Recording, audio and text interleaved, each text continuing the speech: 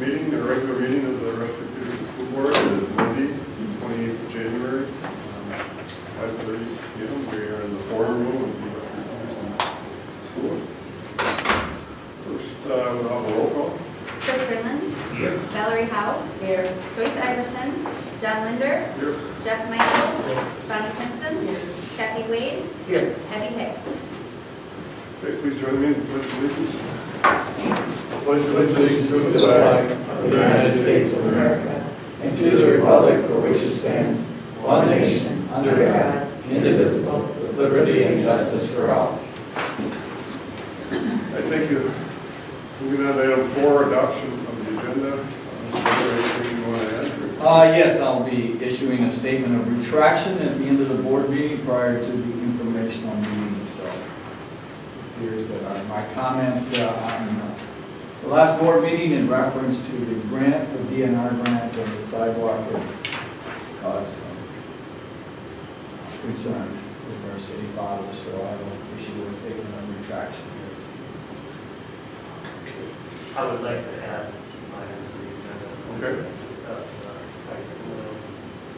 field hospital.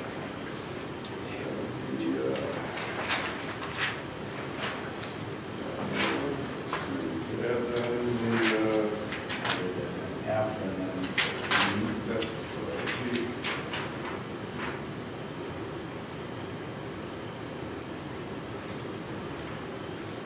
Okay, anything else? For motion to approve the agenda, by Freeland, second by Clinton. Any further discussion? All in favor of adopting the agenda as uh, amended, signify by saying aye. Aye. Opposed, no. Carries. Item five, public comments. Uh, Does anybody wish to address the board? Okay. Okay, moving on to the consent agenda. We have uh, the minutes from the December 17th uh, regular meeting and truth and taxation meeting minutes. Uh, B, January 7th organizational meeting minutes. Item C, January 22nd special meeting minutes. Item D, we have donations in the amount of $1,095. Item E, we have December hand payables, wires, and payroll liabilities in the amount of two hundred eighty-nine thousand, nine hundred eighty-two dollars and forty-six cents. And item F, December payroll in the amount of two hundred seventy-eight thousand, three hundred ninety-six dollars and fifty-six cents. G, January board bills in the amount of one hundred and twenty-three thousand, one hundred fifty-eight dollars and forty-two cents. And H, we have some personnel action, leave absence, Courtney Frick, uh, preschool teacher. Leave of absence, Nicole Schultz, elementary enrichment and middle school and elementary uh, PE teacher. And three, hire Jennifer Orson, kids club supervisor, supervisor. And item uh, I, middle school and high school activity fund reports, July through December of 18. Do you have any comments on the consent? I do have one. I uh, wish to extend a special note of thanks to uh, Sonia Cook for her uh, generous donation to the Drama Club, as well as to the city of Rushford, Rushford Foods, Rushford Lions, and Funeral Home for their support of the um, Civil War uh, guest speaker that we had. It was very nice and rewarding to know that we have those individuals and businesses that are willing to step up and assist us. So, uh, very appreciative of that. Got anything else? I look for a motion to approve the consent agenda. I'll make the motion. Moved by Howell. Second by Michael. Any further discussion? All those in favor of approving the consent agenda indicate by saying aye. Aye. Those opposed? No. Motion carries. Old business, uh, seven, uh, superintendent, superintendent hire update. Uh, we have our schedule. Um, everybody knows what we're up to on there. First one is at 10 o'clock. Is that correct, Laura? Yes. Should, um, anybody have any thoughts at this point? I think Laura had sent out an email uh, she sent an email about, um, her, about wanting to know how we wanted to handle asking questions. Do we need to assign them in advance? Um, and I will just throw out that I've been involved in the process, although it's been quite a few years. But we did this, um, where we, we started asking questions, and it wasn't really like a big deal in advance. Somebody just volunteers to start, says, okay, I'll take one, and start reading, and then I think we just go around. I don't think there's any need to assign them in advance. And I was thinking the first question you ask might be a chance for you to just, you know, introduce yourself to the applicant as well. Read the question. Maybe I'll introduce ourselves to start with. We're- Yeah.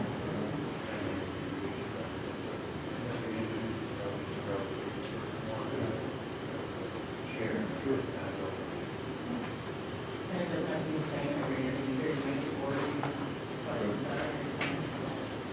But I, to me, it doesn't seem like we have to assign in advance, like we're gonna practice. Yeah, we can do round around. We should be here uh, a ahead of time, I guess, settle in.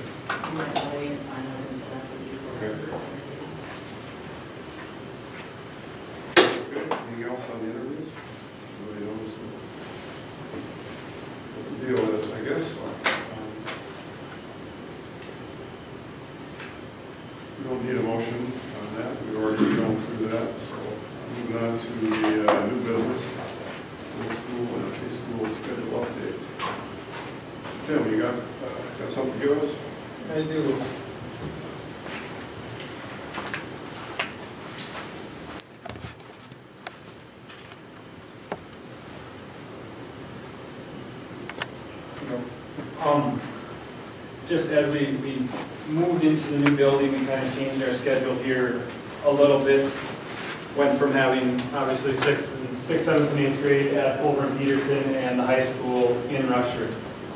And at the time, when we, we did some, we formed a committee, did some research on the schedule, and then decided to go with the new schedule. We got board approval in October of 2016. And just kind of thought one of those things of, not many of you guys were board members in October of 2016. So just given an opportunity to explain our schedule, where it was, how we came to what we are, got some staff feedback, I know that was a question last year, last year being the first year trimester, so we could get some staff feedback on it?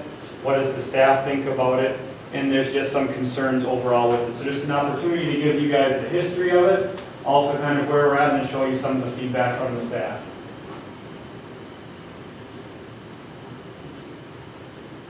So to start, before we move to the new building, so the middle school, on their own, they've had, teachers had six periods of 30 minutes and then a 30-minute study hall.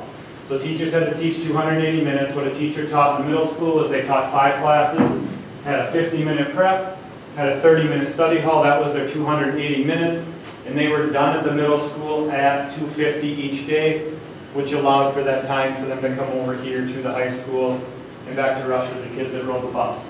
The high school was on a modified block schedule. I'm not sure how long they were on that. When I started in the fall of 13, that's what we were on here. Three periods of 78 minutes where kids changed at the semester. And two periods of 44 minutes. That was a skinny, they called it. They had the same class all year long. And then they had a study hall at the end of the day. And that study hall varied from 20 minutes, which it is now, to about 40 minutes. And kind of the reason for that, I'll explain a little bit. But that's kind of where we were when we started. In addition, we had some elective teachers that had to be shared. So we had art teacher, ag teacher, some of our choir teacher, Spanish teacher, a lot of those electives, tech ed teacher, had to travel between Peterson and Rushford.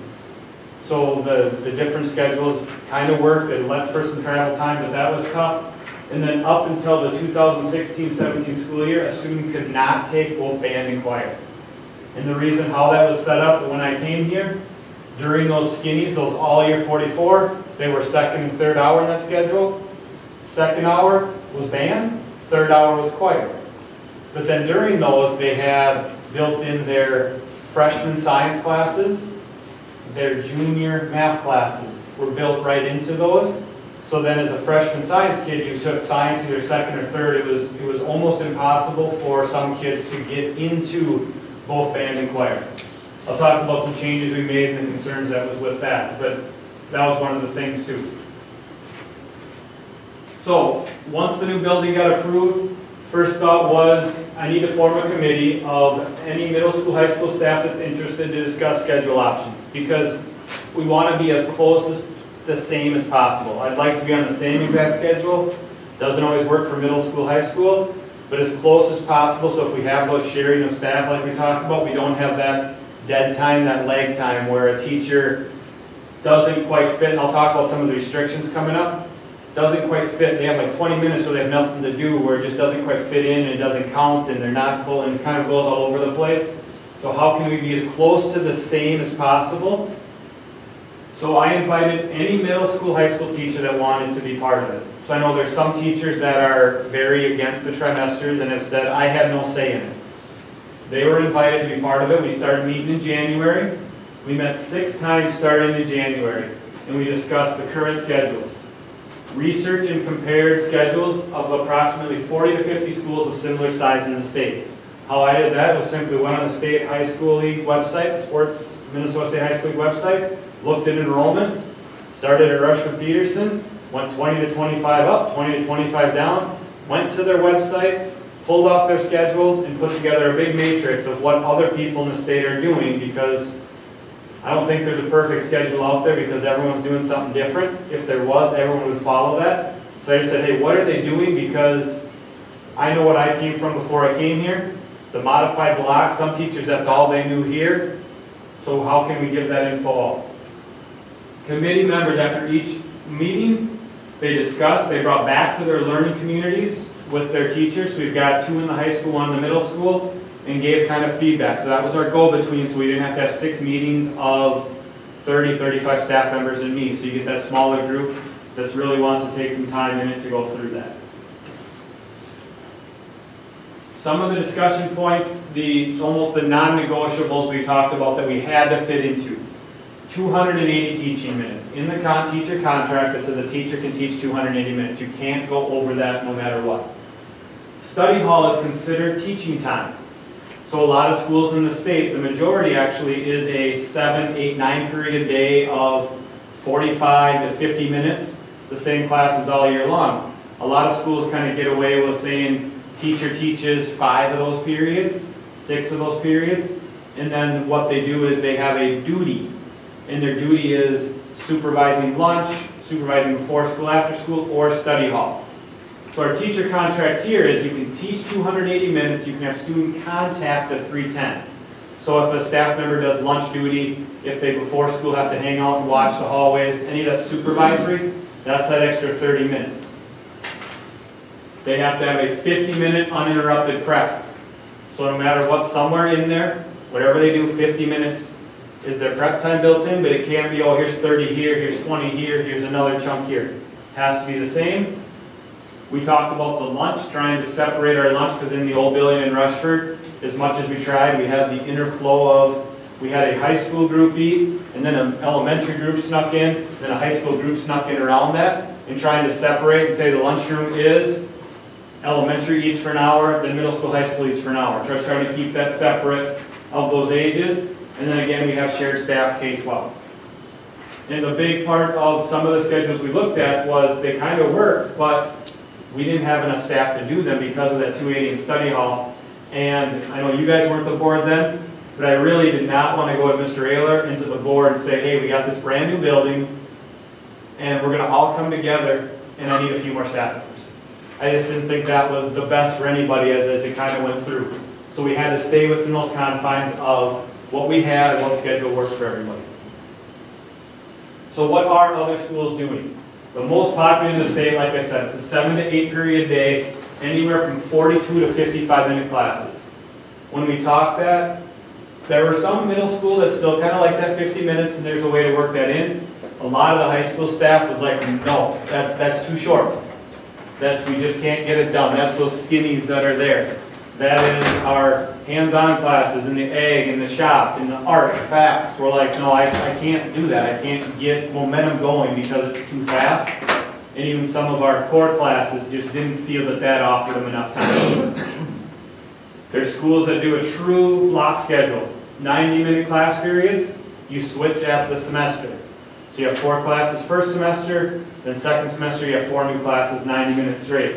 This top one would be your cores, your English, math, science, social studies would be all year long for those 50 minutes, and then your electives you kind of bumps in. And there are some others in the state that do a trimester type of schedule similar to we. There's some that are as little as 56 minutes, and that was like a six period one. And then there's 70 minutes a five period. And right now we're kind of in between that. So trimesters, as we went through, it was what's the best for all students. Now there's some groups of students that semesters are probably better. There's some groups that trimesters are better. There's some teachers that like trimesters better. There's some teachers that like semesters better.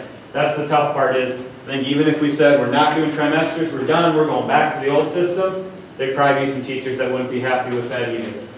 So one of the biggies is more electives. A big example is in our old schedule, Mrs. Thompson taught foods and nutrition. So you took that class, and that could be a whole semester of 78 minutes. Sometimes it fit into a skinny. In here, we've been able to break that class up into basic foods, advanced foods, and nutrition. So one class turned into three. And that's a lot of areas you'll see that. In the shop, we used to have welding. We now have intro to welding and project welding. We used to have small gas engines. Now we've got intro to small gas engines advanced. I mean, you kind of get that. Even in art, we're able to add those. And the theory with that is kids can dabble. If a kid goes in and really likes something, they can then take that and then take, if a kid goes into foods, oh, I really like foods, I can then take basic foods and advanced foods. I can take both of them the same. Or a kid could go in and take basic foods and be like, oh, I got enough, I'm done. When the old system, they just stay with the whole thing. So it gives those kids that chance, those ones that don't know what they want to do, they can dabble a little bit more and find their interest. It gives them more options. And that kid that really wants to dive in. So that was kind of the best of both worlds.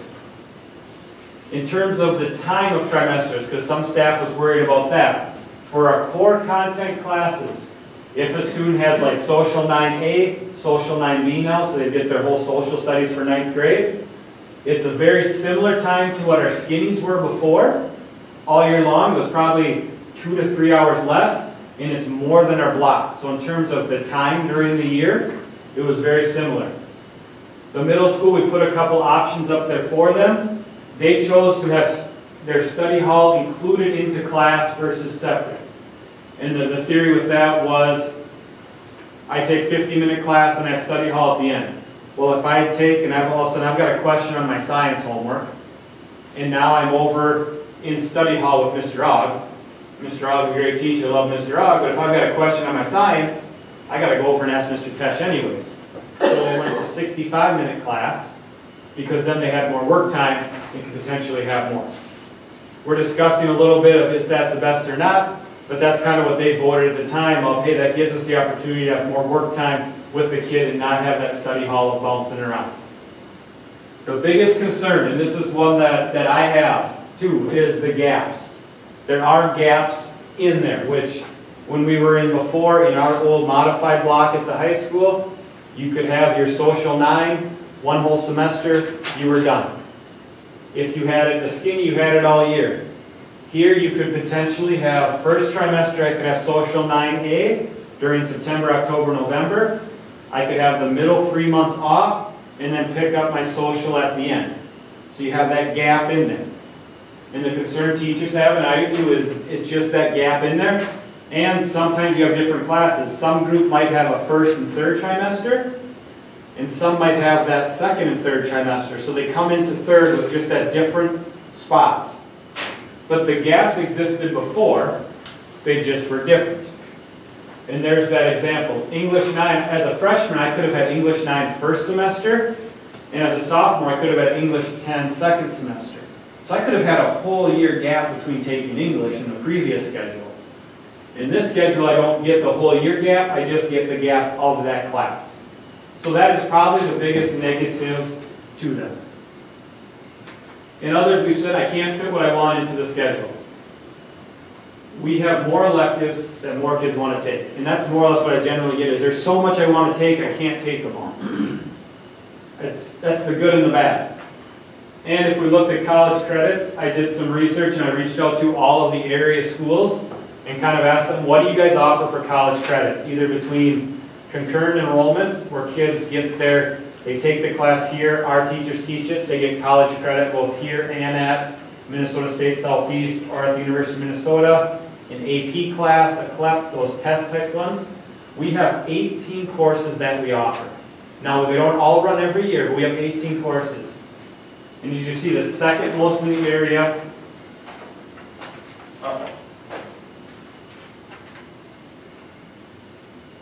Did it just fall asleep on me?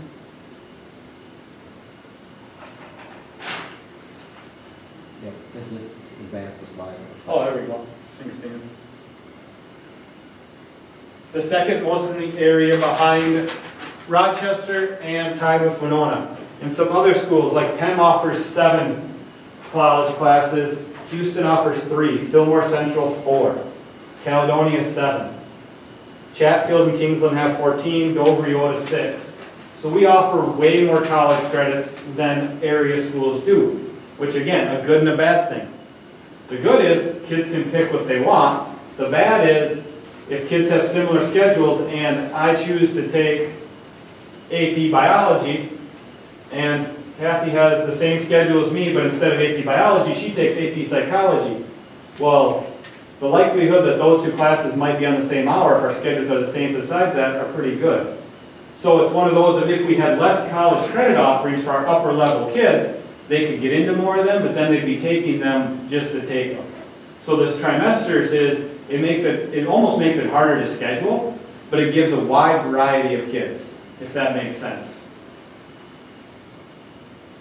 Some have said it's too much music, which our upper level stance can't get them all in because they need to take Spanish, which is recommended. If I'm a four-year college kid, it's been drilled, I have to take Spanish. And then if I want to take band and choir. So that's the same problem that we had in the old schedule. As I said, during, one year we put band and choir during study hall actually. But they take three trimesters of music, so they've got 65 minutes of music right now, all year long, which is more than any other class, which is a lot. But as the numbers down there, as you can see, our numbers the last two years, since we've been in trimesters, have actually had the highest band that we've had in the last how many years, and choir, we're right up there too. The numbers in parentheses behind are we had some students that said, oh, I, I took it first try, I can't get into it, I want to just take it one try and drop down. So that's kind of our high and low numbers. And I put those other years well, other years as well where we had kids maybe quit band or choir halfway through a year.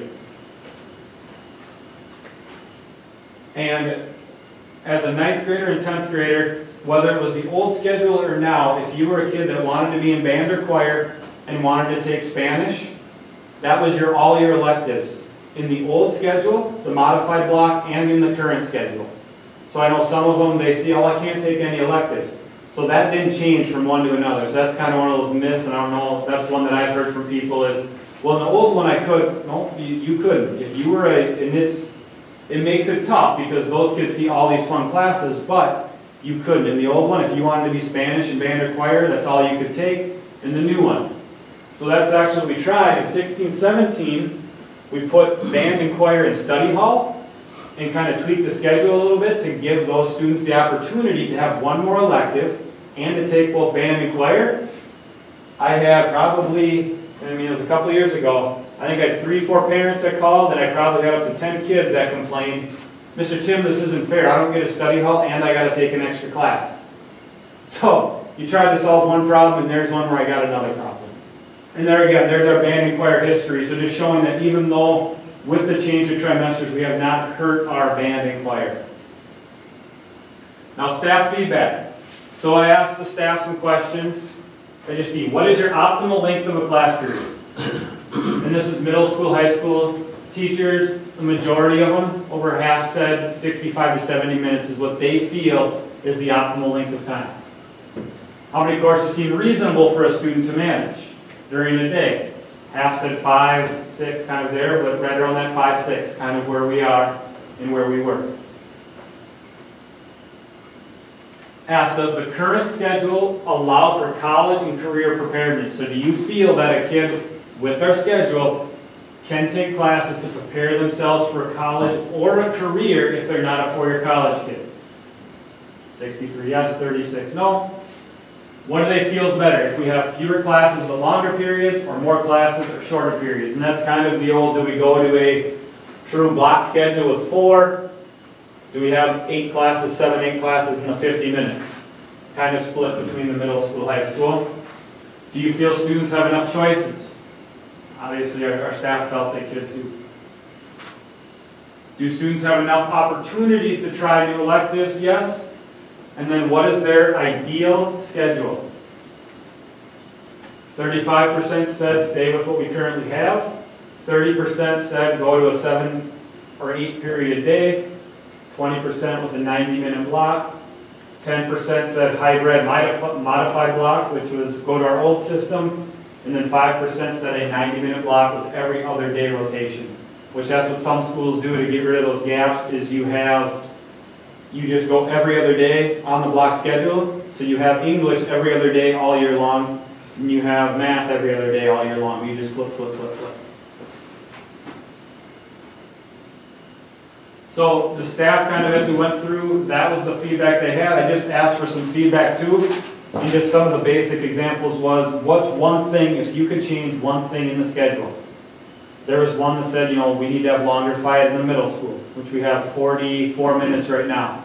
And that's an option, we're looking at it. Some said classes are too long, some said classes are too short.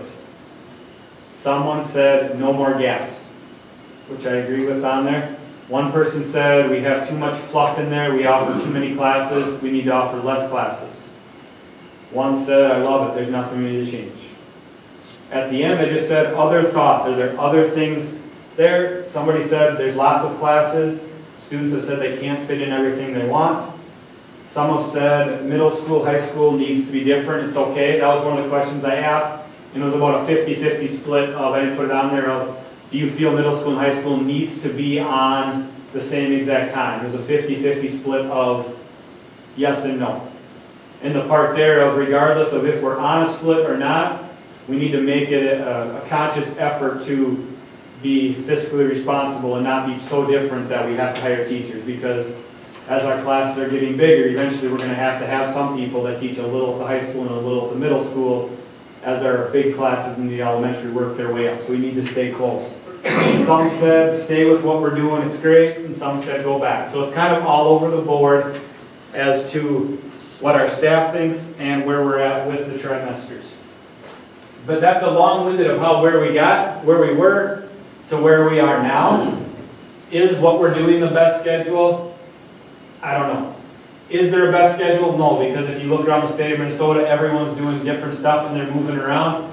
The biggest thing that I like about this is a kid can dabble in the areas. We can have kids that can take, we've got ag classes, shop classes, art classes, FACS classes, business classes. Kids can dabble for one trimester in a lot of those elective areas, yet at the same time, they can take their higher level classes, which are the two trimesters, college preparedness. So to me, this is the schedule that kind of modifies and brings it together both the best of our kids that are gonna go to a tech school, our kids that are going to go right out and get a job, and our four-year college kids. It kind of molds it together. And as you saw, with offering 18 college classes, we don't run those every year. There's some on there that we don't run. So if you look at this year's schedule, there's not 18 on there, but that's what we offer. And that's what I asked other schools, what do you offer? And we're that many. So it's one of those, we have a lot to offer kids, and it's probably one of those we have too much. But I'd rather have too much and work our way down than not have enough and see kids go other spots. So, questions off of that? Because I know I was very long-winded with it, and, but sometimes where we are to where we get to be and needs to be, now you guys are a board. I don't have a question, but I I will uh, offer a statement of support for the fact that we are one of the few schools in southeastern Minnesota that has the amount of courses that we have for career and college-ready students. So uh, I hope that the board will take a look at that and and really view that as a strength for our schedule.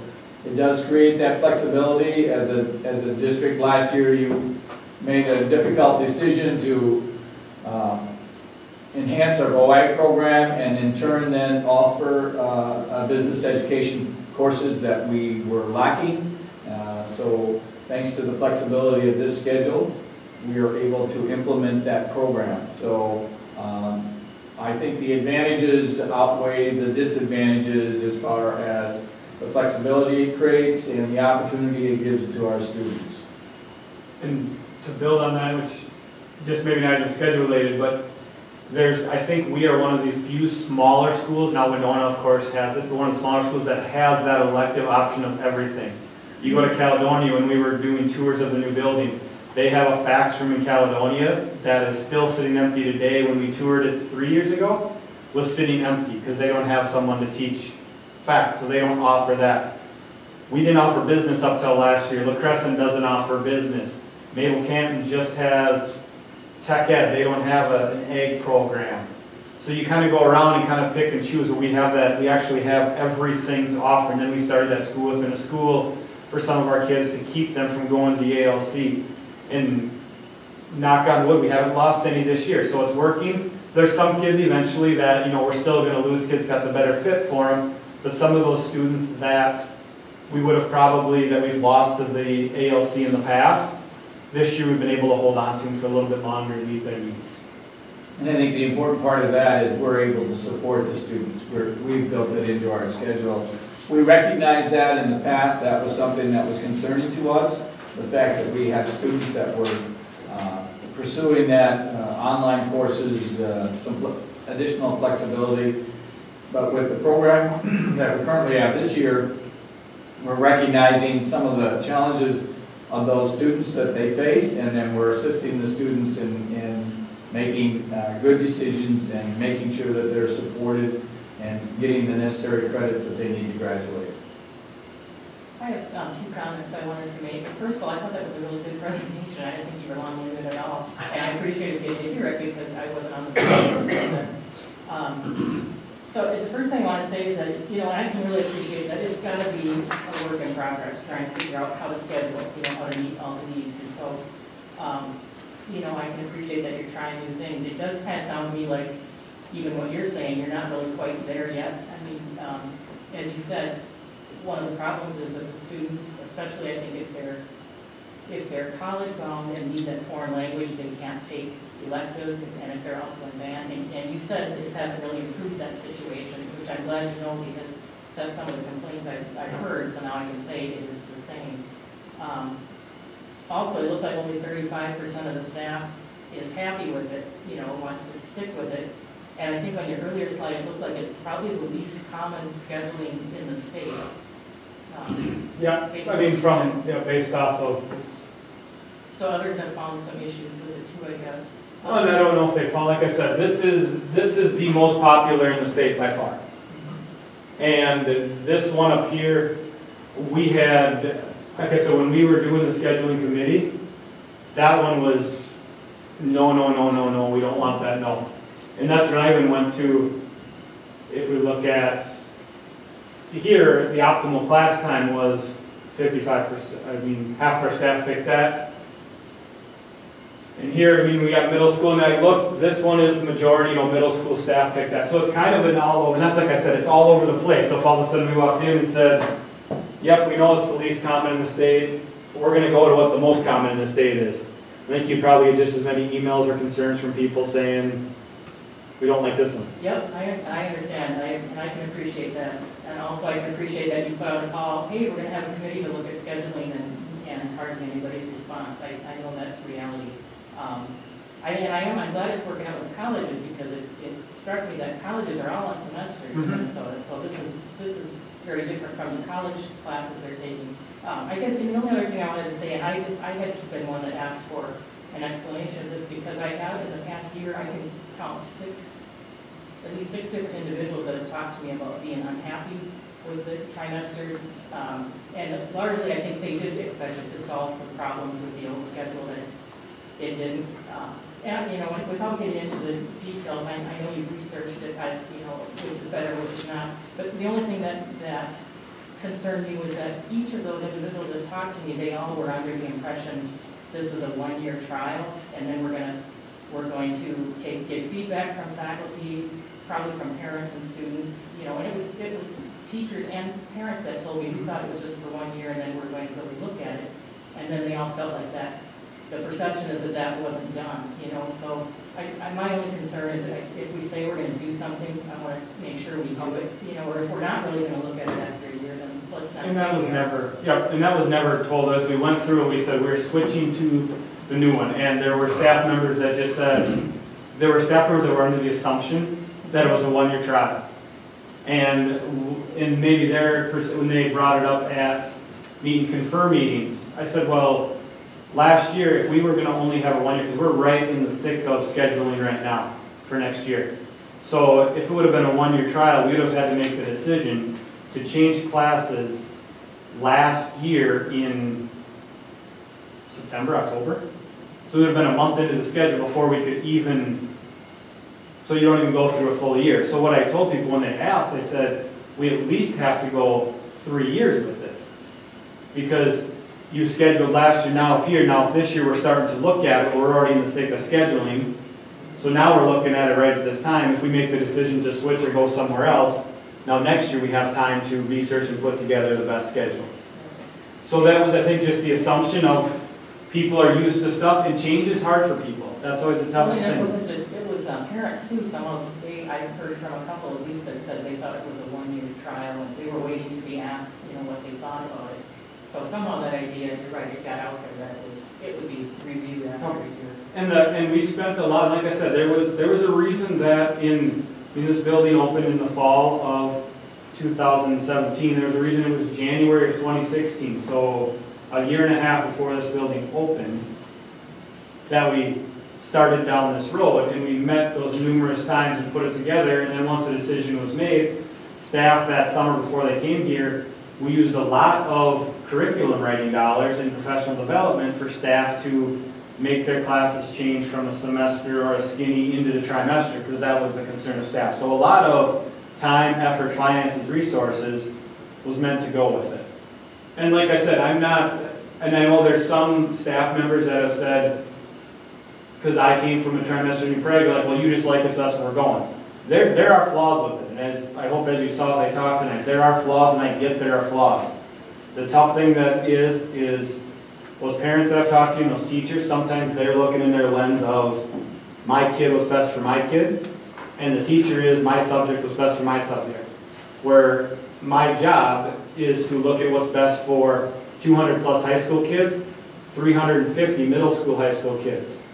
And it's one of those of, to me, that, that dabbling, that ability of the kid that walks in, and how many kids in high school have no clue what they want to do. There's some that are coming in with, I'm on that track, I'm on that four-year track, I'm going, boom, here we go. Spanish and band, that, that's kind of the, like I said, I don't know if there's a schedule that fixes that. You go back to that modified block, you put in study hall, but then as soon as I did that, as I said, I had people that didn't like that, so then they had to take an extra class, and they didn't get a study hall like everybody else. So you're kind of caught in there, but that kid that comes in that has no clue what they want to do, they can walk in and take three months of business, I can take three months of FACS, I can take three months of voag, I can take these little things, and then once I find it, then I can dive in where I couldn't before. So, like I said, it, it's not perfect by no means, by any means. We're trying to tweak it as we go, but based off, I mean, the feedback here, is that it's only thirty-five percent, but then the next one goes to thirty percent here, which they all said they do not, like I said, the, the majority of high school staff was absolutely no, no, no. When we go down to a ninety-minute block, the modified block had two people, taking or ten percent. So again, like I said, I, I- I don't know what the answer is. We can look at it, I just think it's one of those, if we scrap it and change it, you might have eight other parents call and say, it was going great, why did we change it? Well, I believe it takes, like you said, three years or more to see if something works and, you know, to get the bugs out of it or, you know, you're, you're still on top of it, I think. Switching stuff around, trying to make stuff work. And I have a child that has no idea what she wants to do yet, and she's gonna be a senior next year. So I definitely like the concept, concept of all the classes. And we've made it work nicely with um, Minnesota State Southeast, which is a great partnership we have with them. It's- I mean, I can call Joe Ponce, it's her name, the dean of academics over there, and we talk through these things all the time. And when we went to trimesters, that was one of my first phone calls was, what class, how many hours do they have to have for college credit, all these things. We can actually fit a three-credit college class in one of our trimesters due to hours. And we have some that did that intro or um, Hispanic cultures. Used to be a semester class, we've shrunk it down and fit that in there. Some of our math, we've got college algebra, stats, pre-calc, that all fit into one. Some teachers that offer classes there, sociology, human bio, said we want two trimesters to do it. So that fits in okay over there. Either way it works, they know our system now, and when kids take it and don't, they fit them in. And Mrs. Helmont does a great job talking up there with the, with Minnesota State Southeast, so we have a nice spot with that. But we've been able to get that where it feels more like a college class and push it. Then we have some kids that take that online college classes, and it works out nicely there because in the old system, it said, we said, and this is any PSEO class, four college credits equals one credit here at the school. That's what a lot of high schools do. Well, a lot of college classes are three credits, so kids would have to take like two classes, where now if a kid takes a PSEO, takes a first semester and a second semester one, whether it be online or on for one hour a day, that's six credits at college. We can pull them from one hour each trimester to give them an extra hour to work on that class. Each of ours is worth half a credit, so three trimesters is a credit and a half. Six credits, credit and a half work actually really nice together. So if a student takes one each semester, they get an hour off each try and it works really nice together too. So that's one of those perks of, that works better than the old system where they had to either try to find a four credit or take five even though they only wanted three, or one semester they took three, the next semester they took six to kind of piece it together. So there again, it goes to some positives, some negatives. So this is the second year, right? Next Yes. year, Maybe we can just sort of informally plan on you coming back and talking about it in a year? And That would be excellent. Do you want to just mention to the board too, the partnership that we have with uh, Good Shepherd?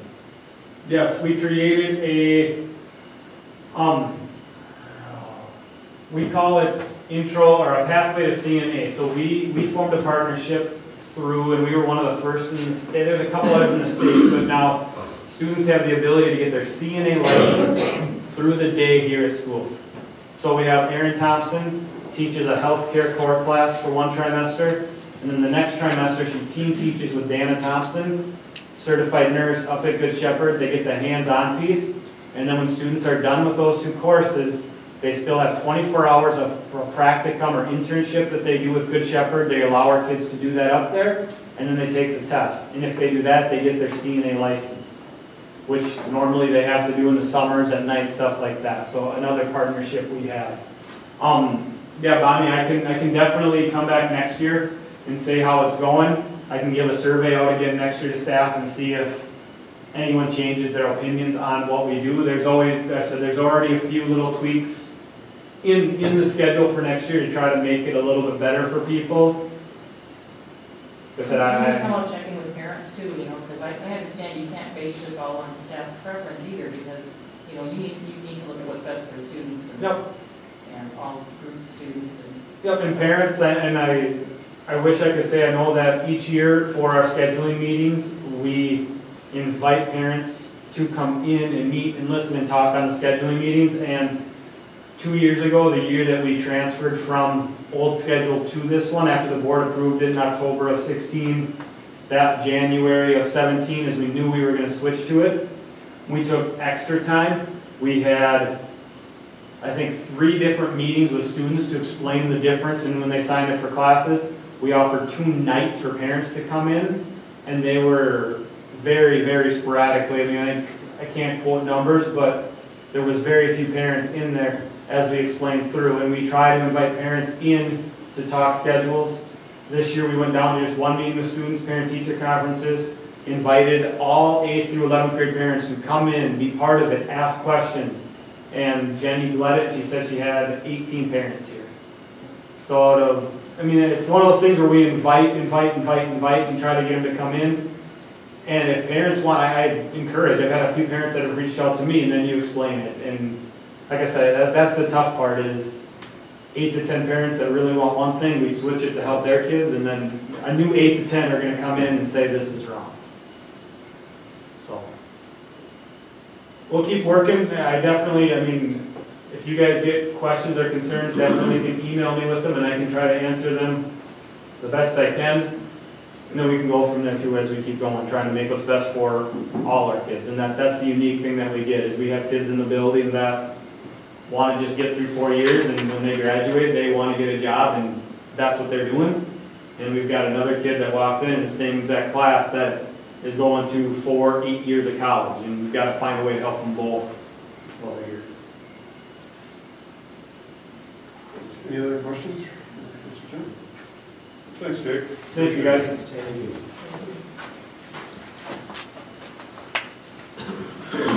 Moving on to uh, eight B, uh, we have a 1820 uh, early retirement guideline for teachers, which is similar to what we've done in the past. Yes, if I may, uh, page 31 in your packet, uh, we uh, originally started out with a one-year incentive, and now we've bumped it up to two years for those that are considering retirement. It's, uh, it works out to just under $9,000 of uh, health insurance that we provide to the, uh, those that are considering it. Um, I will ask the board if, uh, where you're at with this. Um, I did receive uh, confirmation, uh, we don't have a lot of people that would qualify for this, but if you were to bump it to three years, um, it might entice some of those that are on the fence. So just need to hear from you. Um, It is a cost savings to us as a district, it's an incentive. uh, I will put that out there for you to mull over here this evening. And the nice thing about this is that it's a year-to-year uh, option that the district provides, Uh, so it's not part of the master agreement, even though we've received some pressure to make it a part of the master agreement. Um, So it's open for discussion, would be uh, happy to answer any questions, concerns you have, or uh, get a feel from you on entertaining the idea of moving this to a three-year incentive. Sandy, we did move to three years last year, we didn't. We did not. Just talk-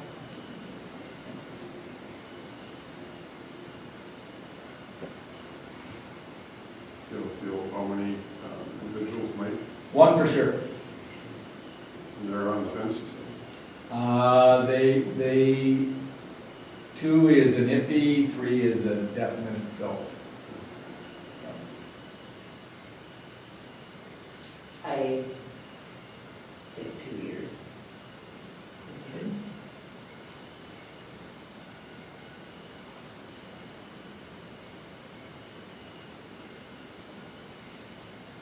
It's not something we have to do, any, I mean, under.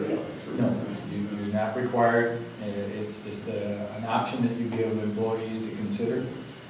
Uh, Again, I'll go on record as saying it is a cost savings to us if someone, Is it considerable, Chuck, the cost savings? uh, yes, it is. Even at three years, so. It's still uh, very conducive for the district to provide that as well.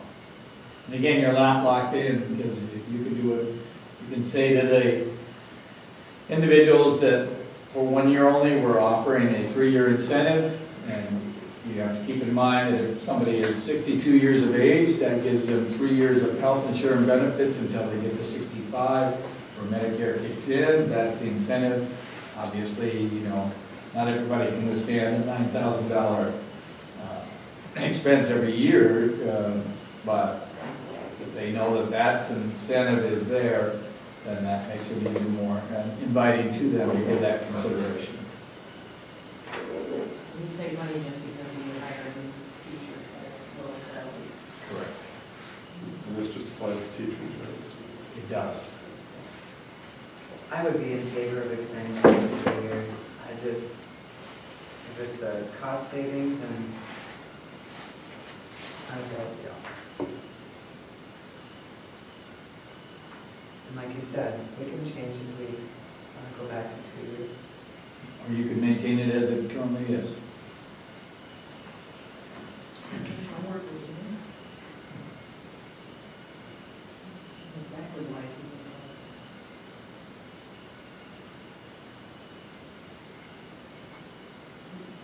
Val, I'm curious, did you have any reasons to prefer two, or you just felt like two was two, plenty, plenty time?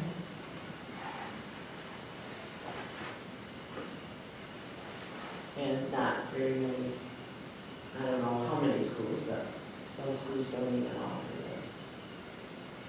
So, And and some offer larger Yeah. incentives, Some are- yes. Yeah. So can be all over the chart. Yep. Yep. Anybody have any more questions on the, uh, early retirement incentive? Anybody, uh, Could make a motion, to table it, or uh, have any number of options?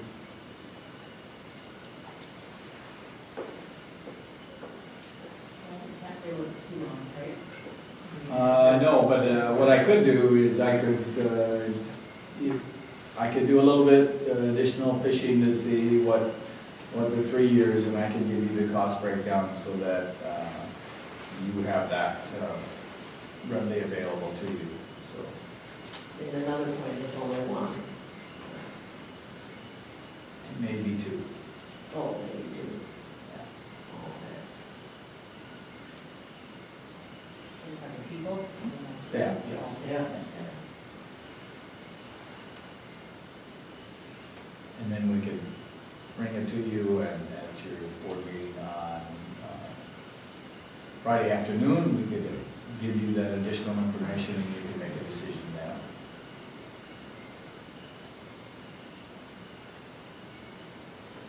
If you allow me to gather a little bit more information, find out how many would be interested, then I can have the, the cost breakdown for you as well. I'd appreciate that. Do we have to do it this Friday? So- Mm, uh, Do you want to get it, yeah, by March 13th for, for them to make a decision? Yes, it would need to be on the agenda by Friday, so that we can get your support for that. If you're gonna, willing to, willingness to change it to a three-year program. It just gives them time to put the numbers together for their, for themselves as well.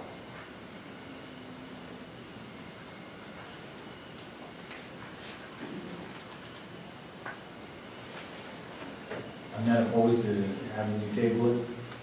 But I mean, I like it. I still table it. Is there a motion to table?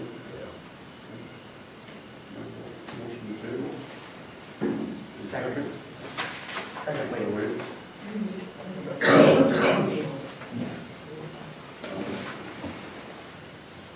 Any, uh, any other discussion? There is a motion to table until, uh, righty. All in favor, indicate by saying aye. Could you check to see if she can stay for a minute? Because she needs to be here for my retraction statement. It was in the, it was in the Fillmore County Journal. If she's gonna leave early, then I'll make my retraction statement now. Okay, we have a motion uh, to uh, table the uh, item eight B as in business. All in favor, signify by saying aye. Aye. Opposed, no. Motion carries. The um, item eight C is the approve the uh, nineteen twenty school year calendar draft. Draft. It's on page thirty-two, uh, or, uh, in your packet, and, uh, again, this is something that, uh, we met administratively to look at, and, decided to tweak it a little bit so that, our, our students and staff are done at the end of May, so we, we don't have either students or staff coming back on a Monday in June. So, uh, again, we share this with our PEA, She had to leave to go to a city council meeting, she's Okay. running for that, can you just email her your statement? sure, So it gets into repeater, because, thank you. yep. So, yes, uh, so this is just a draft, we invite you to take a look at it, and uh, we're waiting to hear back from our PEA as well. Do you have any comments on the uh, proposed schedule? Motion to accept the draft? Not yet. Mm, Not necessarily, no. Uh, Anybody have any comments on it? uh, that- we If take you do, uh, please don't hesitate to let us know. Uh, There was some concern, I'll be honest with you, there was some concern about coming back on uh, Thursday, January 2nd, uh, only two days, the second and third, take the full two weeks off, but if we do that, then it pushes us to uh, have students attend school on the 29th, and uh, and then we have teachers coming back on a Monday, June 1st, so we looked at that, and a no, I know, and, and so it's really tight, and so, uh, yeah, so, you know, something, you know, as you look at it next year, obviously, you probably would not come back for one day on a Friday in January, so you'd have to look at how you're gonna make that work. So we, in essence, what we, what happened is in April, uh, um, we lost uh, Easter Monday, so that might be concerning to some parents, but uh, If you look at April 9th, that's a scheduled early dismissal for parent-teacher conferences, so there is uh, that extended time in there as well, so. Looking at all the options uh, administratively, uh, my my leadership team took a, uh, uh, you know, the magnifying glass out, and went over it, uh, and this is what we have decided would be best for everyone concerned. And once we hear back from our PA, we'll bring it to you for approval at the next board meeting. Okay, any, uh, any comments, uh, let, uh, staff. Okay, moving on to uh, eight D, new business, uh, approve the co-op agreement with Lewiston Altura Schools for boys and girls golf. I'm going to turn that over to Mr. Bebadorf. He's going to walk you through this as to um, the requirement of Lewiston Altura to join forces with us. Yeah, and, um, I know I talked to you, I think it was almost, well, some of you, two months ago, uh, when we first started exploring this option, uh, part of which, um, is led by the fact that, uh, Lewiston Altura's golf course has announced that it's closing, subject to the sale to a potential buyer, and as of, um, middle of January, they had no buyer to do that, um, which is making us look forward, what is our best forward, go-forward strategy. Um, this could be advantageous both for Lewiston Altura and giving them a course that's closer um, than any other option for them. Um, Gives us an ad- advantage of gaining additional athletes, and and that's kind of all spelled out in that resolution that you should have a copy of um, in terms of the need for cooperative resolution that we put together. Um, How we see this as a great fit, we already are co-op with Lewiston Altura for cross-country, we're also co-op with them for wrestling. Um, So this would be a, a third one. So we have a co-op in the fall, we have a co-op in the winter, and this would be a co-op in the spring. Run very similar, only difference is we would be the host school um, from a who makes the formal schedule and contact person from the State High School League. That would be our school district instead of theirs. But we work seamlessly uh, between the two schools, the kids, everything has, has been great with our existing co-ops that we have with them. So we see this as a, a huge advantage moving forward. What does Lewiston bring to the table? They bring um, more participants, which makes us be able to field a full boys team and a girls team. By being able to do that, we can grow future, um, future numbers as well, obviously. If if you are able to fully participate, um, it can lead to more participation in the future. How we've been doing it as well as how they've been doing it is there's not enough to have a full varsity and a full JV. So when we play other teams in the conference, for example, we're going with partial teams, or we, in our case for the girls, two years ago we had four, so we were able to compete even though a full varsity is six. Last year we were down to two girls. So they golfed, but they truly weren't participating as a team. So the co-op, join the numbers, that's great. We have a course for practicing on. They have an indoor golf facility um, that they have access to, so it's hitting into simulators. Um, So they bring that to the table for us. So if we have a terrible winter that extends into the spring like it did last year, we hit into some nets for weeks and weeks and weeks. But the simulator um, and practice green that they have over there that they have access to would be an advantage to us.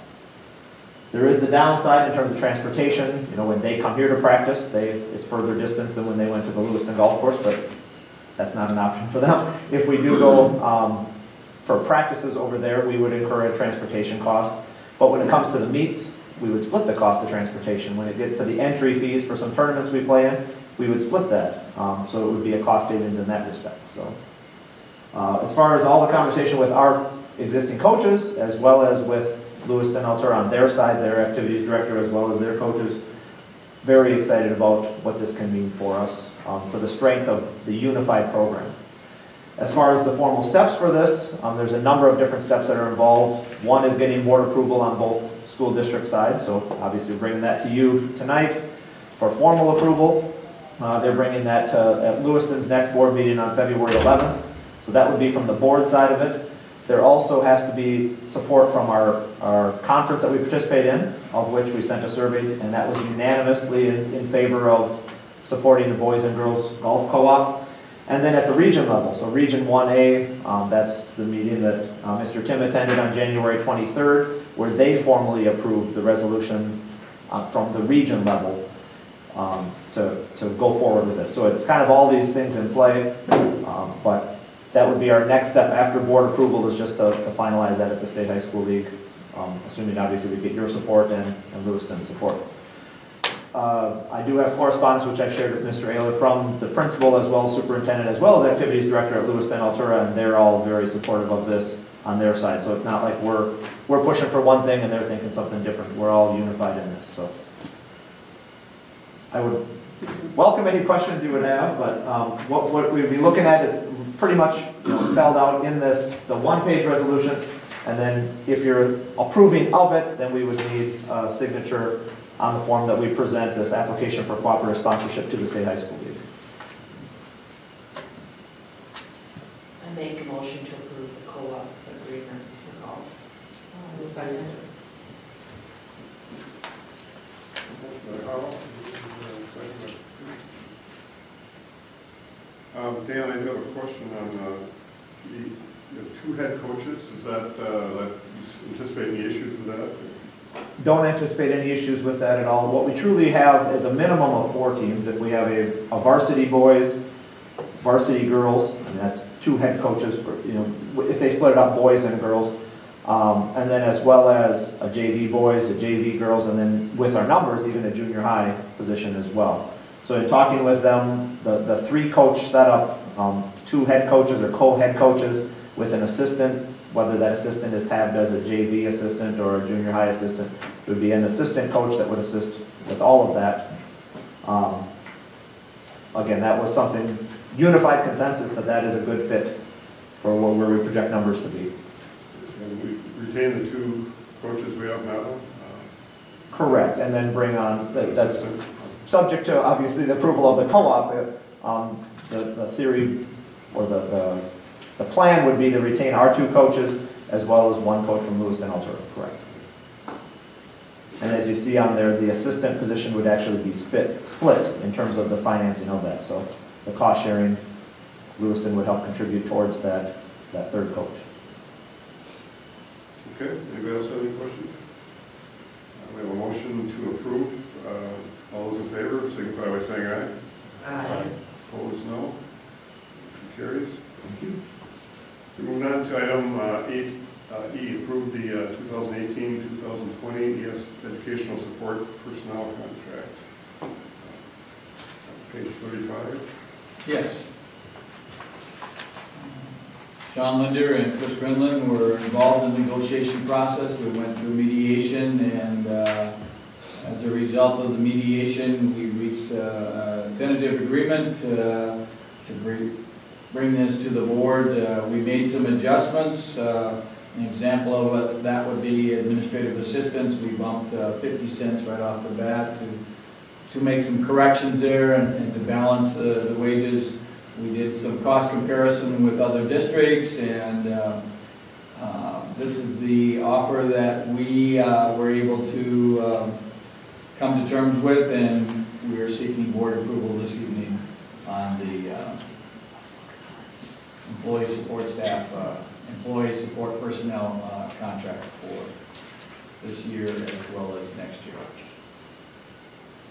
I can just add, we, uh, well, um, put a little bit more into the bottom end at the, at the beginning, because uh, I think we recognized that the, uh, the entry level uh, salary uh, wages were, um, needed to be up a little bit. The the job economy is picking up, and there's a lot of options out there for uh, some of these folks, so um, we did uh, bump that a little bit, so. uh, We did, I understand they, their union approved it. They did, yes. It represents about a, a nine point uh, eight eight percent increase overall in two years. So, um, we certainly appreciate uh, the conversations that we had and some of the resolutions that we came to as far as working with them and, uh, and coming to terms as far as, um, creating a, a salary schedule that they can live with. Any questions on the uh, proposed uh, contract agreement?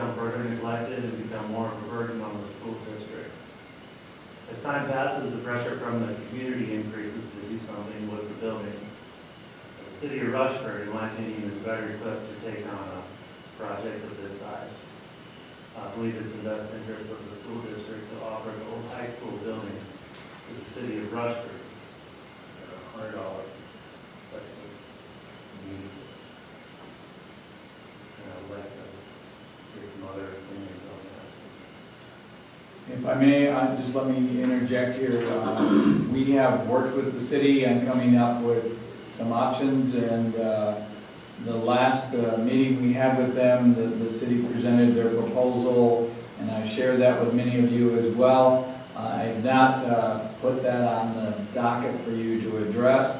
But uh, we have ongoing conversations, and our facilities committee has been working with the city, so I would invite or encourage that we continue those conversations. Um, And I know that uh, other board members here have some concerns about uh, the city's uh, intention of what uh, their plan is to do with the building, and so um, I think that it would be advisable for the district to allow the facilities committee to work through that process. I did put it out there because I know that you were busy with the uh, hiring process here for the superintendent, so I didn't want to have that additional uh, item uh, uh, detracting from your efforts to go ahead and hire a superintendent here, but uh, I have every intention to pull together the facilities committee and get everybody up to speed as to how we envision to move forward with that, that proposal and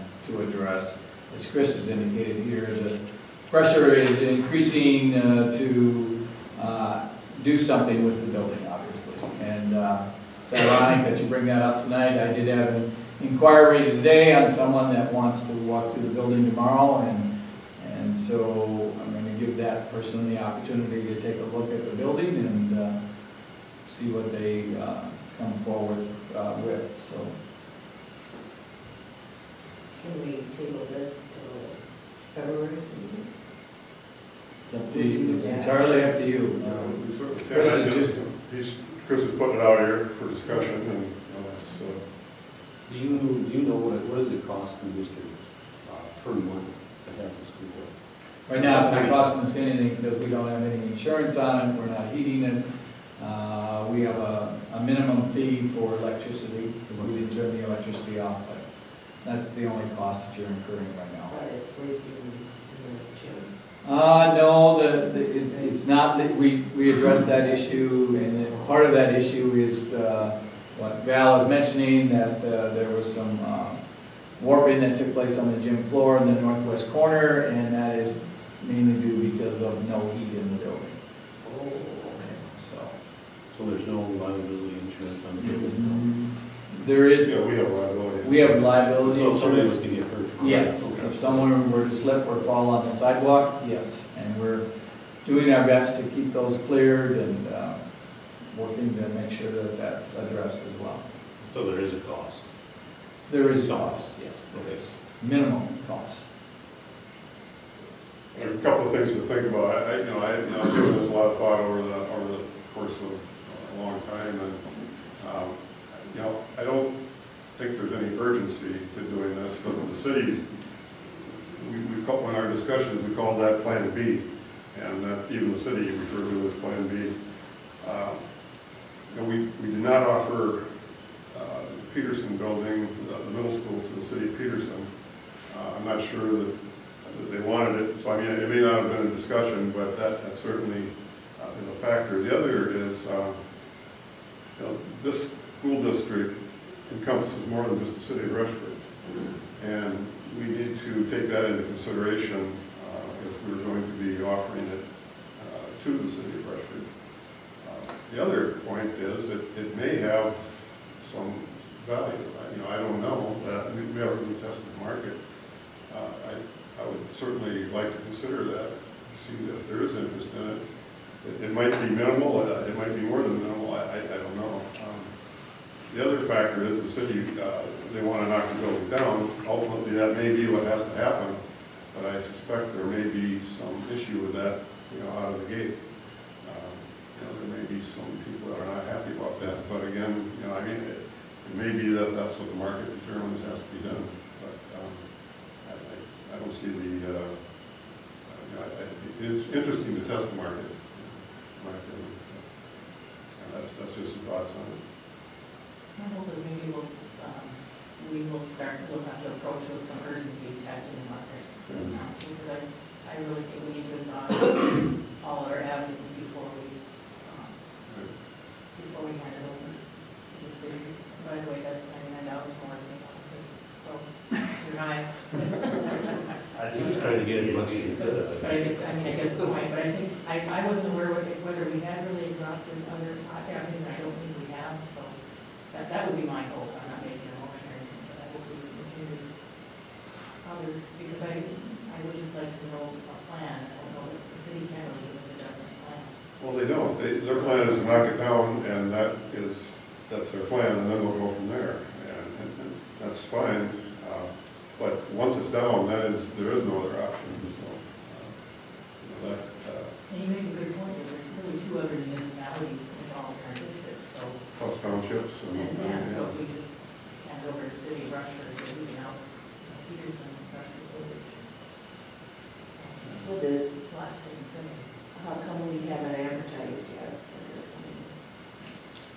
Because we're waiting on the city. Well, we've had ongoing conversations Yeah. with the city, and so uh, there hasn't been a real sense of direction here from the facilities committee as to, we, we processed through all of the various steps. We had a plan A that didn't come to fruition, and then the city decided they wanted to move uh, this forward and came up with a plan B. So plan B needs to be mulled over by you as a board and then decide uh, which direction you wish to go. And we have not advertised the building. So,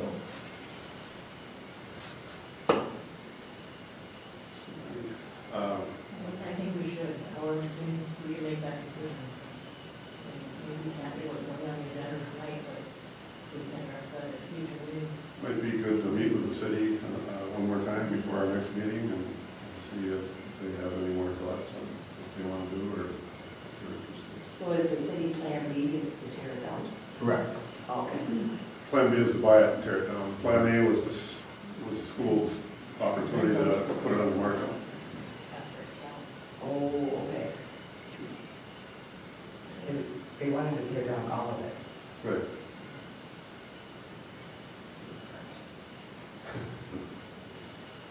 Well, you know, I, the truth is, it's probably worth more without the building on it. Mean, I mean, but, uh, you know, there are, I, there have been buildings that have been rehabbed, um, you know, but it, no matter what happens, it costs a lot of money to do that. And it, it's, that building needs, that's why it's not a school anymore, because it would cost too much money to fix it, modernize it. so.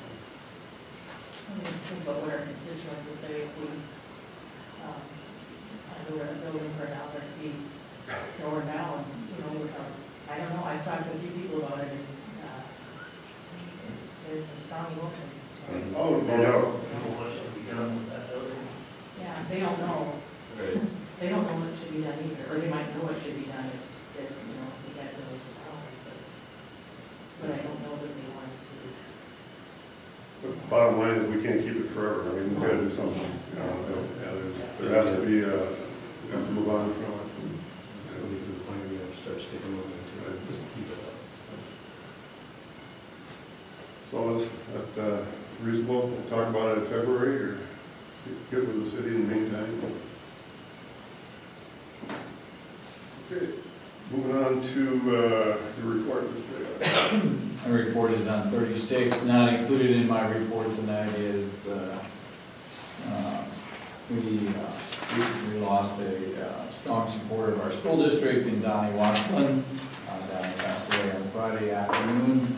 Um, uh, Our condolences and sympathies to them, but uh, Donnie and Lorene were, uh, uh, contributed uh, to our music department. Uh, Donnie had a strong love for music and uh, They were uh, very generous in their donation to our school district, so I will extend uh, our condolences to the family on behalf of the school district as well. Uh, Just notes of congratulations, junior high knowledge bowl team, uh, very very successful year. Um, We uh, have a new uh, uh, coach this year, and Meredith Johnson, who's currently teaching fourth grade for us, and she has done an excellent job with our teams, and as you can see, our first, our uh, ninth grade team placed first, and uh, the members are listed there, and then the uh, high school team placed uh, second in the conference.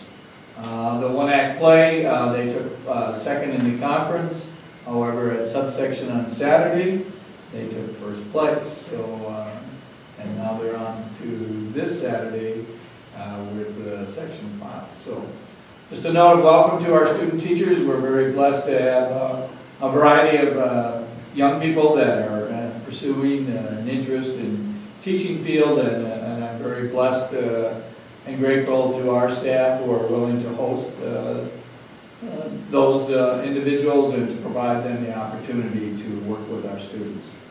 They're a nice addition to our school family. A note of thanks to the Rushford Lions. Each month, they come in for one week out of the month to assist with um, safety patrol, so we're indebted to them, and uh, we thank them for their willingness to help us out with that. The DNR grant, uh, I received some additional information in regards to the timeline. The grant would be submitted this year, and if approved, construction would take place in the summer of 2020, so it would not conflict with our uh, plans to move forward with the uh, re, uh, development of the uh, current practice field that we have, so we can spread those out and not be conflicting, which would be very welcome, so. That is my update, so. You you had an issue, uh, retraction, or what was it? Yeah, I have a retraction statement at the end of the board meeting, and I'll, Okay, you want to do that now? I can do it now. Why don't you do it now? Sure. The retraction statement is, uh, centers around, uh, and I, I don't deny that I said, said this, uh, if you recall, we had, we had a conversation about the DNR grant, and uh, my quote is, is that my fear was that the grant doesn't happen, it will stay in limbo for a long time. Uh, We bit the bullet when it came to Pine Meadows and did not have help from the city on that project.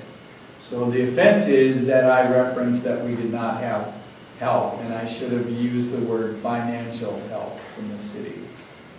The city did help in that, uh, with the construction that took place down with Highway 43, the city workers were instrumental in providing the leadership, in, in getting the, the lights moved down, and working with us to make the decision to move across the street and then extend it onto Highway 4, you know, across Highway 43. So I'm indebted uh, to uh, the city letting me know that uh, they took offense to my words. I did call uh, Tony Clyde, the city uh, administrator, and extended my apologies for my comment and reference. Uh, So I just wanted you as a board to understand my sensitivity to that was not to diminish anything that the city has provided us throughout that whole process. Uh, As we viewed it, and you as a district viewed it, uh, we went a year without the sidewalk in place. It was deemed at that time, uh, based on community feedback, that something needed to be done. If you recall, we uh, put in for the uh, Safe Schools Grant three years running. We're denied all three years. Uh, So in reference to saying that as a district, you bit the bullet, yes, you did financially, and we are indebted and thankful for the city's contribution to making that happen as well. That concludes my retraction statement. Well done. More of a clarification. uh, yeah. Well, But anyway, yeah, the point taken, so. Yes. All right. Anything else, Mr. Bailey? All right, thank you. Uh, Ms. Lawson?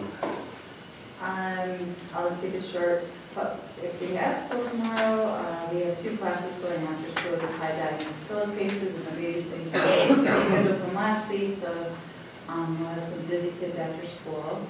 Um, youth dance will be starting up again in February, so that's always fun for our little girls. Uh, youth rec, uh, went really well in December, seventy-five participants in youth basketball, fifty-three in mat club wrestling. They had a huge tournament on the fifth, if you even try to drive by that day, it was very busy. Um, and they did a wonderful job. Open gyms, um, started uh, this last weekend and the weekend before, and I'll go run through February. I have volunteers lined up, but we are having a lot of students coming, so we have over fifty kids, so we need more volunteers, um, to help with that. Adult enrichment, uh, we have a couple classes going on there, and then the rec badminton started, we're looking at pickleball, I'm kind of tapping into Craig Hobinson to lead that one for me, who loves pickleball, so, um, look for that to come in March. And then Peak Fitness, which is another big hit for our staff, we did a wellness grant to help offset that, uh, the cost of that, and, um, it's going over very well, we have nineteen participants, so that was very fun. And with the wellness grant too, we have an opportunity to receive more money, so I'm working on that with that group of people that are in that class to kind of come up with different ideas um, for our fitness center to help for our employees. So we have some with posters and different things like that, but we're working on it. Um, Kids Club, we stay pretty busy. We're up from last year. We're up to 12 in the morning and 30 in the afternoon. And then Jennifer Thorson, we've been pretty fortunate with our student teachers, as Mr. Ehler pointed out. Uh, That's who helps us out after school, and it's a great opportunity for them. And, uh, and it helps us as well to have that adult leadership in the afternoon for our kids. And then uh, we, they had the Christmas program, that went really well. And then we're planning right now for next year. So we're looking to do a changes, but we're in the planning stages so that um, I'll go over the changes next month. And then ECFE, Heather's doing a wonderful job. She had her first, ECFE Open Gym, we're doing it different this year. We tried to do it during the week last year and it just doesn't go because of space and it's just so busy in our, in our building. So we're doing it the same time as our open gyms here to have a wrestling room for E ECFE Open Gym, so on Sunday afternoon. So that's kind of a fun family activity for our, our community members. And then summer planning, the thick of that as well. The other thing I've been busy working on, I didn't put in my report, was a facility checklist. We're just getting caught up on making different signs and different posters and different things on the door. So you see that walking around the building, that's where we're kind of doing and updating. And then also the fitness center, just working on maintaining that, the memberships, and the different groups that come in here, from police officers to senior citizens to firemen to college students, and just kind of keeping them all straight. So I'll give you another update on that next one. So. Anybody any questions for Ms. Lawson? Thank you. Mrs. Shepherd, your elementary school. Yes, thank you. Um, The top, third bullet down was the um, fifth grade raising four hundred dollars. And that's, to me, is just wonderful for Gabby, which many of us have read her story. She's a little over one now from Harmony, fighting cancer, her GoFundMe page. That the fifth grade had enough, you know, thoughtful hearts and that they raised money for that little girl who has a, obviously a battle going on. Um, Some of the opportunities we have for our students with the Winona Symphony Orchestra, which two through five will be going to soon. We also have two plays coming, one Winona will be coming here, and a play um, from a group from La Crosse will also be coming here in the next month and a half too. So those are just nice opportunities for a lot of kids who may not get to go see an orchestra, and all those, and the plays are just fun, and it's, it's great opportunities with Prairie Fire here, um, and the plays for the older kids through Mr. Musselman are just great opportunities for um, our young children. Kindergarten registration is set for the 15th. We're going to do PTC Mass this year, which works well for our parent-teacher conferences, and I know early childhood does that as well now. I've had Dan and Keela working on um, setting that up for kindergarten registration coming up here shortly. The Great Kids, the Winona Health Program, we started last year, and Mrs. Brown is our fourth grade um, FIA, a teacher now. So it is um, eight weeks, and the kids love it. All fourth grade students, 62 of them, will be in the gym. There are 10 or 11 Winona State students who come um, with the leader from Winona Health. Um, Not sure who that is this year, but they come and do an entire 15-minute program with these kids. They have, um, it, when I peeked in on last year, it was just wonderful seeing all these college kids with the young kids, and if anyone's around during that time, it's uh, 2:10 until 3 o'clock, so it's, it's worth checking it out. Our early dismissal for conferences really goes well for the elementary, and our attendance was wonderful again. Um, Elementary just is. Um, Even in the spring, there's a real nice attendance. Um, One of the big thing I want to do is what Mrs. King is doing over um, the Christmas break. A lot of her 11 EL students went, their families went to their homes in Mexico or wherever. So she had some time, and instead of kind of searching what to do, she emailed the entire staff, oh, elementary staff, saying, I'll come into your room. We'll learn a little bit more, we'll teach a little bit this, the, you know, cultural sensitivity. And the teachers just rose to the occasion, and I attended several of them. One that I attended was a fourth grade classroom where this boy brought his mom in. And she sat in front, and she had a slideshow and everything with Mrs. King, and he'd explain a little, and the mom would explain, and where they're from, what it looked like, how it's changed. Oh, this little guy's never been there. She, they came to the United States when she was pregnant with him. It was just so, the class was just amazed, and at the end, this little guy went up and gave his mom a hug, and it was just so wonderful.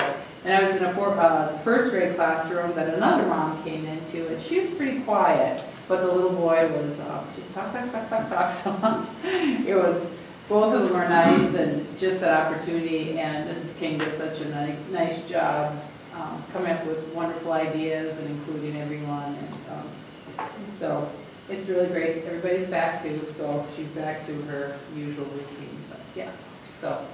A lot of good things happening. Of course, our e-learning day from today goes really well in the elementary. I know it can be kind of challenging for the middle school, high school, but for elementary, teachers have a really good plan in place and it's going real well. so. Thank you. Okay, any questions for Mr. Shepherd? Okay. All right, thank you, Mr. Shepherd. Um. Taylor, you want to do the, uh, Yes, I'll do the high school, and again, my thanks to uh, Mr. Tim for the uh, research he did and- and present, his presentation tonight on the trimester scheduling, and uh, we hope that uh, that answers some questions as you get board members, sometimes you get confronted about, this isn't right, or that isn't right, et cetera, et cetera, you know how that works, but uh, again, my thanks to him for the time and effort he put into his presentation tonight. Uh, Again, I personally am uh, very impressed with uh, the fact that we can offer what we're offering, and so that's all part of that. Uh, The registration process is underway, so um, he's uh, going to be working with Mrs. Hilgamo on on informational meetings as far as the registration process. So they have a collaborative senior day coming up with Lewiston, Altura, La Crescent, and Caledonia. This was started last year, and uh, the goal of the, the day is to build relationship with students from other districts, learn about different careers in southeastern Minnesota, make connections with area businesses. And then uh, uh, they have also added this year uh, Fillmore Central, Spring Grove, and Houston, so it's uh, growing as we speak. Um, We also have a number of high school students who are having their work displayed at the Lanesboro Art uh, Gallery, uh, the Juried High School Art Show, and that's on display in Lanesboro there um, until February 2nd.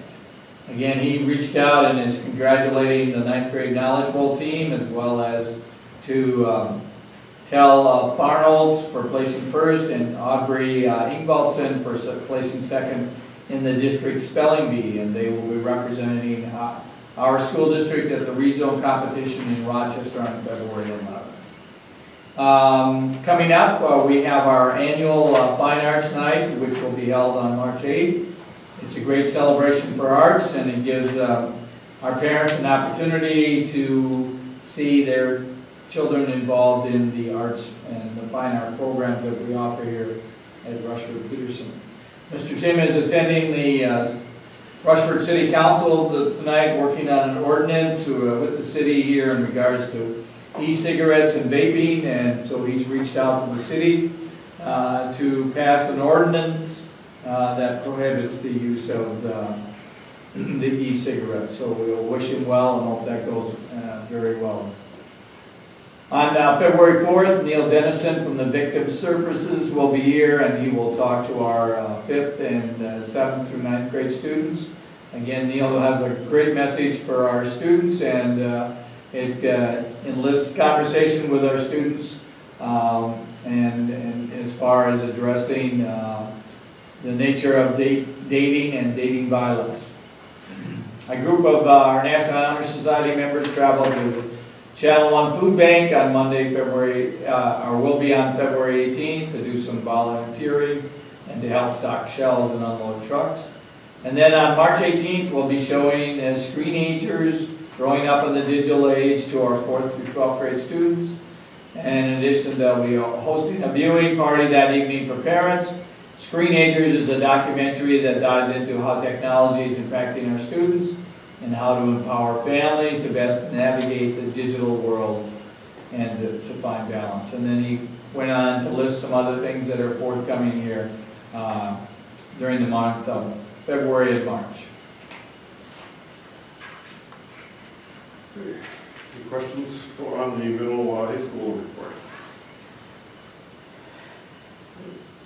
Thanks. Uh, Mr. Beaverdorf, Activities Director? Yeah, winter activities. Um, has got a lot of dates listed in, in my report, um, but I'll kind of just talk on a few things. One Act Play, as we've heard, um, is doing a fabulous job. Um, we hosted the east side of the conference here um, in our auditorium, which was great.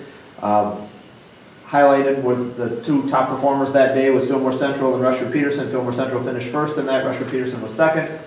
Um, we worked on the little, you know, little critiques from that. Um, benefited from having two public performances in advance of the subsection, so I want to just thank uh, Mr. Musselman as well as his assistant Katie Humble for um, putting on performances for our students last Friday as well as for the public at 7 o'clock. Um, then went into to Caledonia and, and took first place. Now they advanced to go to Kasson-Mantorville um, this coming Saturday. So that's the, the section level there. Winter dance team is wrapping up. They have their last regular season um, on Friday at Southland, and then sections are the following week at Lake City. Uh, boys and girls basketball, we're kind of in scramble mode because we missed games yesterday. Um, as of now, or today, I'm sorry, as of now, it's not looking very positive for tomorrow because since we've had our meeting, Mabel, Lanesboro, Houston, Cal, Chatfield, Lewiston, and Fillmore have all closed. So um, and Fillmore's one that we're playing. So our games are on for tomorrow. We'll deal with that. Um, but we'll get those games in. Uh, and then wrestling is also um, wrapping up the regular season. They've had a tournament at Kasson-Mantorville last weekend. Uh, we've got Grand Meadow and La Crescent that we go to, and then we host our one and only home meet here on February 7th versus Dover-Eyota. And then in team sections is the following week, which we may be hosting here at Rushford on the 14th, and then individual sections are the following week for that. Um, I've got other things on the calendar there. Uh, a couple things that weren't in there that I just want to point out. We have cancer awareness nights, which um, we used to call them the pink out nights. Uh, we, it, has been handled by different groups. This is handled by our student council now, uh, with uh, Dina Matheson overseeing that as well. But the nights there, we're going to have um, special awareness as well as some different events going on for our home wrestling on February 7th, the girls basketball on February 12th, and the boys basketball on February 15th. We'll be recognizing our AAA winners and our ExCEL winners on February 4th.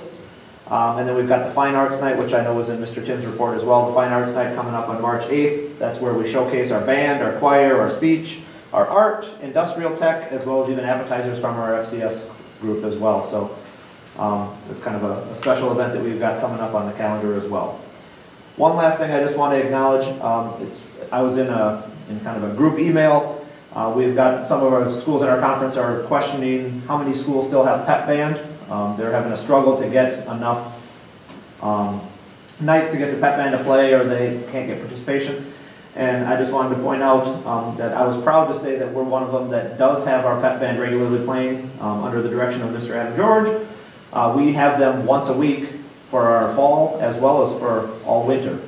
Um, and that was rare. I think there's only one other school in our conference that does that. So it's great that, that Mr. George is able to spearhead that. It's great to have them in the gym for them to showcase and share their talents publicly. Um, I think it's just a great thing, and I was kind of shocked to hear that, that we're one of the lone ones that are doing that now, and it's, it's great to hear them. So just wanted to throw that in my report as well. So. Welcome any questions, comments, concerns? Questions for Bureau? Well, I just want to encourage everybody to go to the fine arts night, or you'd be thrilled to see what these kids can do. It's amazing. 7 p.m. Friday, March 8th. So. All right, thank you, Mr. Bureau. Um, Item nine, we have, uh, you can see there the, uh, what we got going here for uh, the next uh, month. We've got a pretty heavy schedule, so um, guess we need to uh, keep all that in mind, work, work that out. Uh, Anybody have anything else? Sure, I do. Okay. Just a, just an FYI to you, the board, as Dan has clearly indicated to you, we're the lone holdout right now, and we won't be out on an island. I won't do that to you as a board or to myself. But just so you understand, um, since I've been here in 12 years, what, what I've experienced is that our news media is not doing our school districts any favor. If you recall last Tuesday, and they had everybody hyped up and we had a half an inch of snow. Yes. And I, I get it, you know, track sell, and now they're spinning this, that this is the worst Armageddon that the state of Minnesota. I will refresh your memory, one of the first years I came here in two thousand eight, we were on our way to the cities, it was thirty-five below, and wind chill was forty-five to fifty below. We had school, probably should not have had school, but we were, we did manage. And it, it's really uh, gotten to the point anymore where we as a district don't get to make that decision because everyone around you makes it for you. An example, Rochester closed today before noon for the next two days. So you have to be aware that we're not just closing for tomorrow, we're closing for Wednesday as well. And fortunately for us, and knock on wood, we have e-learning days. And so they will all be e-learning days. It's a, it's a means uh, to keep uh, kids active and thinking of school. But at the same time, I'm just sharing with you my frustration with any more the spin that takes place with our weather is just beyond comprehension anymore. It's just like, could you just be quiet? This is Minnesota, it gets cold in Minnesota. And I, I'll dare say to you that school districts north of the cities, this is, this isn't even a, it isn't even a blip on their radar. Are you kidding me? No, they, and, all right, so there's two hundred miles difference. It's, it's all mindset, so I'm just, I'll stop right there. Before I have to issue its retraction.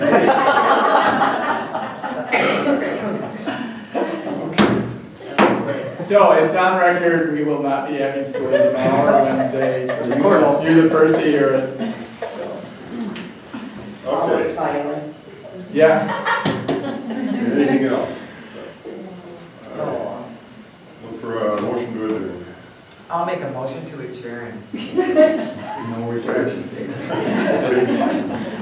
All in favor? I aye. Aye. Aye.